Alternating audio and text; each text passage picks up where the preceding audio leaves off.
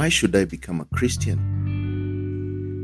Um, all major world religions have at their core the same principles. Of course, that they are, they are gods and goddesses or higher states of existence requiring action on the part of the adherents to ensure that they will, will arrive at a designated end. In other words, if we do the right things, we think the right way, or we adopt certain principles of life, we can hope to arrive at the desired destination or desi- uh, destination after we die. And uh, all religions are alike because uh, the stated goal can be attained by human effort. And uh, Christianity, the only difference with Christianity is that it does not fit into that category because it is fundamentally opposed to the very principles that make an ideology by religion. Okay? It's not really a religion, it is a faith. In a religion, mankind reaches up to God uh, by himself, try to reach to whoever they call God by him by themselves. But with Christianity, God reaches down towards man. And in religion, man works to attain his own salvation. But uh, in Christianity, God has already done the work required to grant us salvation. Think about what the Bible said in John 3:16. For God so loved the world that he gave his only begotten Son, that whosoever believes in him should not perish, but have everlasting life. For God did not send his Son into the world to condemn the world, but uh, that the world through him might be saved. He that believeth is not condemned, but he that does not believe is condemned already. So, do you understand? And also, let's check uh, 2 Corinthians uh, 5.21. It says, For he has made him to be sin for us, who knew no sin, that we might be made the righteousness of God in him. So, the work was already done in Christianity. Okay? Christianity must be considered on its own merits rather than in comparison to other religions because here is all about something which already was done. We don't need to do anything. Okay? We don't need to do anything. But uh, just as we cannot select, uh, let's say, the best fruit by comparing an apple with a with a hammer, those are two different things. We cannot adopt a worldview by comparing the statements of the Son of, of God with man-made religions. And in considering why you should become a Christian, it is important to uh, start with a bigger question Why are you here? What is the reason? Why are you even here? Where did you come from? And uh, is there a purpose for your existence? Because every human being wrestles uh, all day with those big questions. Because despite what you might be uh, have been taught back in the days about evolution theories and uh, and uh, and things like that, we are deeply conscious that to be human is to be distinct from all other uh, forms of life. Animals don't grapple with uh, philosophical uh, quandaries, only humans do. We have a soul that longs for eternity. We sense that we exist for a reason. That one is deep inside all of us, and we cannot lie about this. Okay?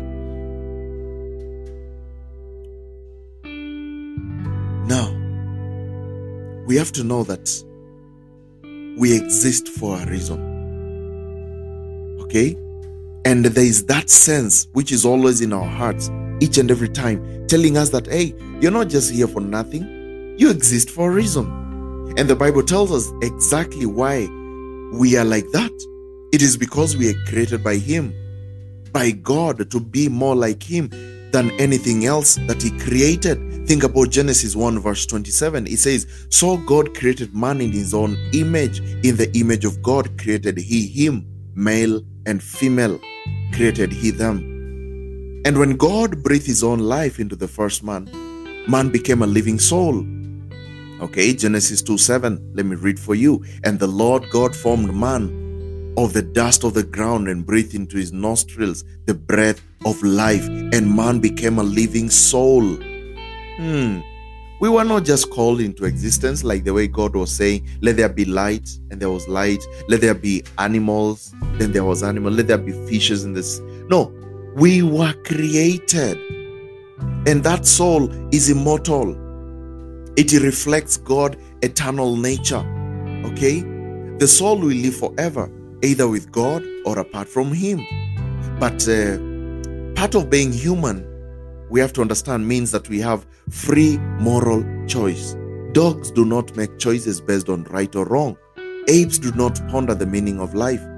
Animals make choices based on uh, instinct and conditioning. Humans, however, are held to a different standard because we have an uh, innate understanding of morality. God's moral law is and uh, attached into our hearts but with our free will, we violate it. That violation is called sin. Okay? Remember what the Bible says in Romans 5, verse 12. The Bible says, Wherefore, as by one man sin entered into the world, and death by sin, so death passed upon all men, for all have sinned. Hmm? All have done what? Have sinned. They have violated that moral code that is in them. And we understand that God is perfect, uh, heaven is perfect, and uh, we are not perfect ourselves. And none of us, n- nobody can say that they are perfect. The Bible tells us very clearly that there is none righteous, no, not one, in Romans 3:10. And our and our goodness does not overweigh our bad. Okay? Sometimes people think, oh, because I'm going to do some good stuff, it's going to outweigh our my bad stuff, and then I'll be a righteous man. No, the Bible says in uh, Isaiah 64, verse 6, that we are all as unclean thing, and all our righteousness are as filthy rags, and we do fade as a leaf, and our iniquities, like the wind, have taken us away. Do you see? There's no amount of good things which we can do to uh, cater for the bad ones. And the justice of God requires that our high treason against our Creator can be punished. And the only rightful punishment of crime so great is eternal separation from God in hell. That's where we deserve. That's where we deserve going. The Bible tells us the wages of sin is death, but the gift of God is eternal life through Jesus Christ our Lord. Romans 6 23. We have a serious problem. We cannot solve that problem and this problem is not altered by our level of, of belief. Just as the law of gravity is not altered by our acceptance of it, if that is, if it exists, okay, the problem of separation from God is a universal issue. So our job is not to ignore or redefine or hate it. Our job is often to listen to the one that you have offended and follow his directions for uh, remedying the situation. And if you feel a stirring in your heart to seek God, it is because God Himself is seeking you. Why? The Bible tells us in the book of Luke, chapter 19, verse 10 For the Son of Man is come to seek and to save that which was lost. So, God is trying to seek you and to tell you, you need to do what is right. You need to do what is right, and that is following Jesus Christ, believing in Jesus Christ, and everything else will be sorted. Remember also John 6 44. No man can come to me except the Father which has sent me draw him, and I will raise him up at the last day. So there's always uh, that Spirit of God, that feeling of God trying to chase after you and to pull you. And life's highest honor is to be pursued by the creator of the universe and offered an invitation to become his own child. In addition to recognizing the great gift you're being offered, there are other reasons you should become a Christian your past, your present, and your future. Why should I become a Christian? Your past. Now think about your past. Since the moment you let your first wail, your nature has demanded its own way. Children do not have to be taught to sin. They come by it naturally because we all inherited the sin nature from our first parent, Adam. And the knowledge of our sin weighs on us. Some harden their hearts. They are drawn uh, into guilt in addictive behaviors or they lie to themselves about it. But our spirits know that we have done wrong and they seek resolution. Always, everybody knows that you're a sinner, you're doing something wrong, and we know our sin needs forgiveness, but we are unable to obtain our forgiveness. And when Jesus, the Son of God, came to earth, it was so that he can become the final sacrifice for those sins. Think about John chapter 10, verse 18. It says, No man taketh it from me, but I lay it down of myself.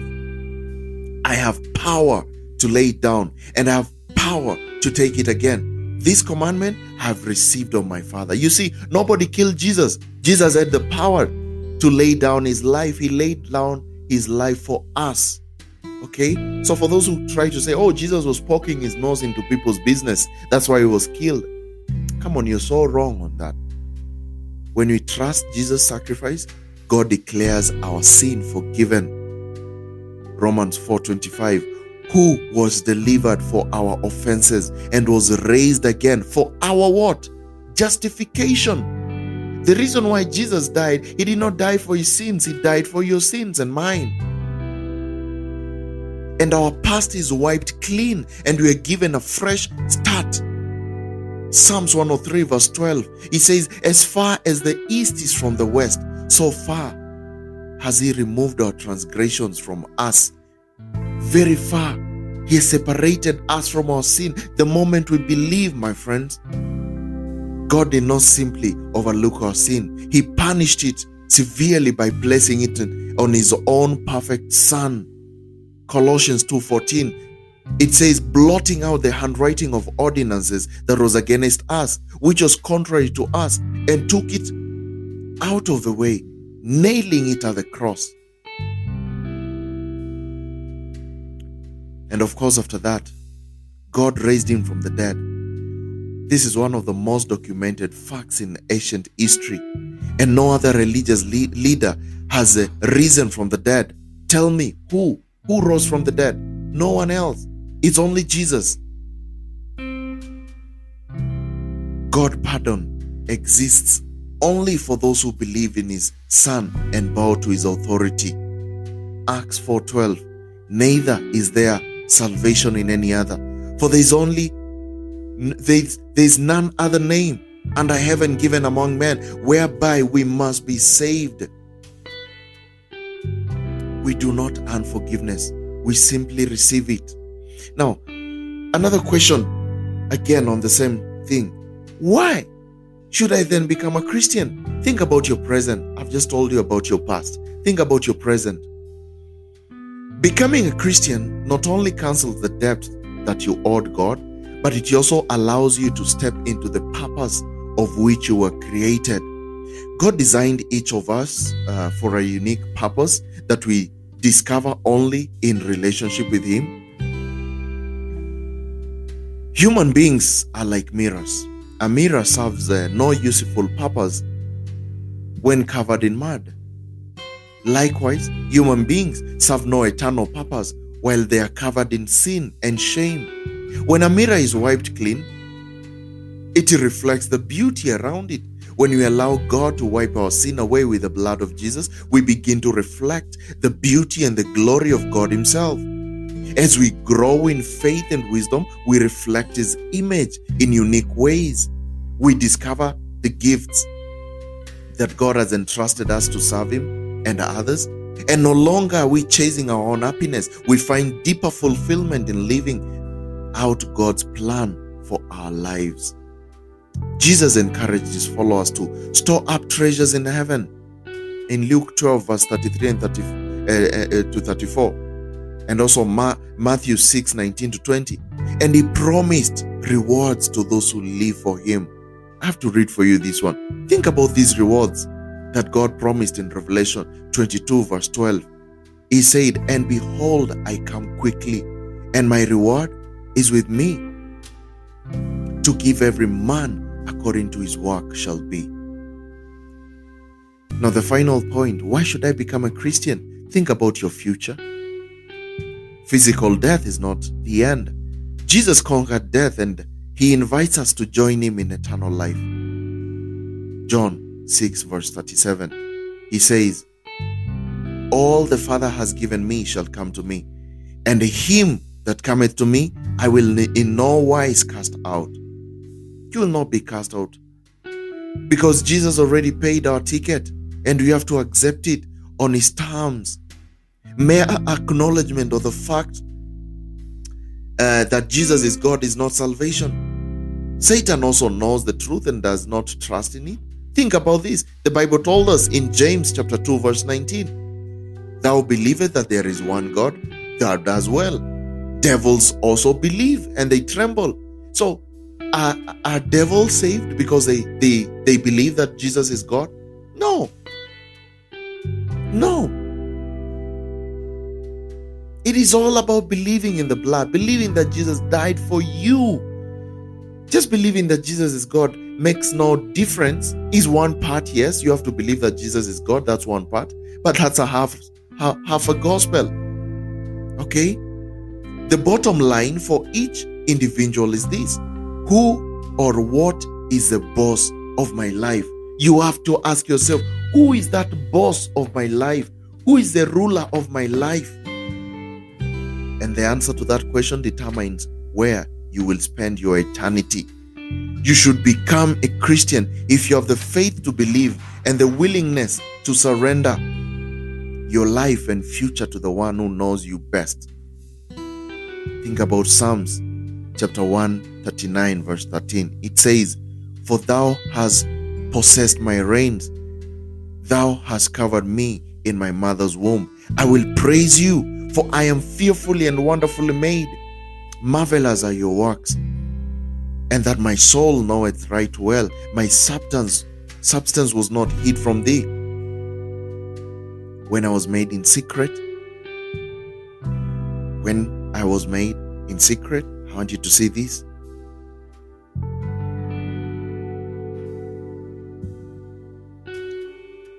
And curiously wrought in the lowest part of the earth, thine eyes did see my substance, yet being unperfect. In thy book all my members were written, which in continuance were fashioned, when as yet there was none of them. My friends, God knows us. He knows us so much that we cannot even know ourselves. And it is the most important decision anyone can make. That's the most important decision. In his book, um, The Great Divorce, C.S. Lewis once quoted and said, and I quote, There are only two kinds of people in the in the world at the end those who say to God, Thy will be done, and those who whom God says in the end, Thy will be done. And all that, they are either in hell or heaven. If you wanted to do your will, my friends, you will end up in hell. If you want to do the will of God, you will end up in heaven. And that's the end of our today's Bible study lesson. Hope it was a blessing to you. Hope you've learned something. And remember, you can always download this podcast to listen later offline or to share to your friends and family. And please don't forget to favorite our podcast and subscribe to our channel so that you can always be notified whenever we post another Bible question. And if you'd like to get saved or you need a step by step order of salvation, that is how to get saved, or maybe you want to get a few verses so that you can well uh, preach to your family and friends. Or maybe you feel led to support our ministry, please visit our website, keithmuoki.com. Otherwise, I hope to see you soon the next Bible study. God bless you.